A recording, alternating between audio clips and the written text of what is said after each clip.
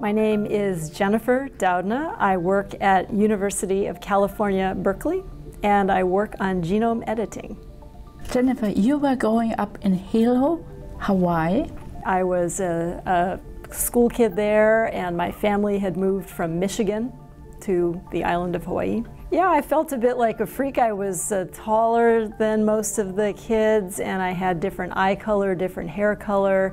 I buried myself in books. I mean, there were many times when I felt um, very unhappy and when I was growing up, you know, in different ways. I felt very isolated. I felt very alone. I had to rely on my internal voice that said, it's okay to be different. So this kind of isolation really propelled you then later to study science.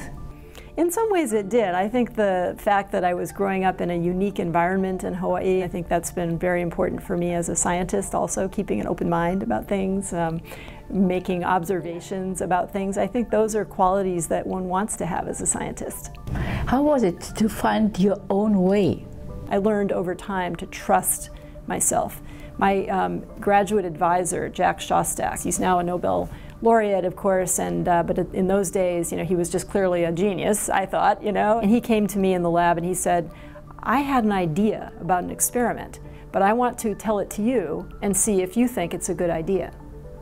And imagine for a student to be asked that question by a senior professor at Harvard. He trusts my judgment. He wants my input on an idea that he has. And it was that type of interaction that really built my confidence over time.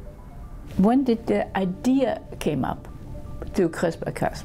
My very first conversation about CRISPR-Cas was actually a conversation with a colleague at Berkeley, Jill Banfield, who was one of the early scientists noticing CRISPR-Cas sequences of DNA in bacteria and wondering about their function. And you met then in a conference, Emmanuelle Charpentier?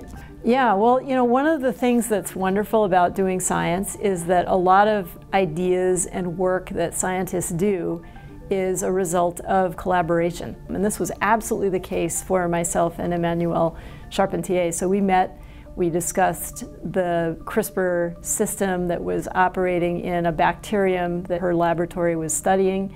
And we realized there was a fundamental question about the function of a protein called the Cas9 that was active in that type of organism that allows scientists to program an enzyme to go into that rope of DNA, find a single place in the rope that is recognized by a chemical mechanism in the enzyme, and make a cut to the rope. And then those broken ends are repaired by the cell, and in the process of sealing the ends back together, a change can be introduced into the code of life. And so this allows scientists now to alter the DNA sequence precisely in cells in a way that was very difficult to do in the past. Everybody's saying you and Emmanuelle Charpentier will get the Nobel Prize. Do you think so too?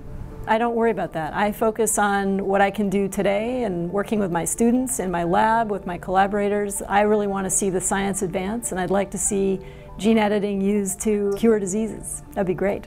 Several women I talked to had some hurdles because men said, oh, I'm not sure if she'll be able to do it. There are many times in my life and in my career when people said to me, you won't be able to do that. That idea won't work. Um, you won't be able to achieve this goal. You won't be able to get into this college, you know, things like that. But, you know, I'm a very stubborn person. And I said, well, I'm going to try. And if it doesn't pan out for me, I'll do something else. But if it does pan out, then it will open the door to a lot of opportunities. And I've always sort of taken that path even with my research. You know, I think some of the things that we worked on, and CRISPR is a great example, right? It's something that I just thought was interesting. I wasn't pursuing it for any particular goal. I thought it was going to help us understand something fundamental about evolution. That's actually why I wanted to work on it in the first place. And even though there were people that said to me, that's a crazy project, it's not very interesting, uh, it's something never, no one's ever heard of, I still thought that there was some very interesting biology to be learned from investigating it, and so I worked on it anyway. And I'm glad I did.